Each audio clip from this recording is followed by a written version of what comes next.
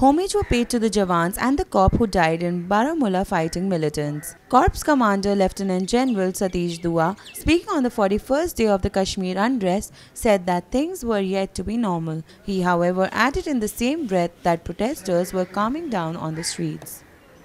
The situation is far from normal. And uh, as you rightly said, for the initial few days after uh, the uh, uh after 8th of July, there there was spontaneous protests.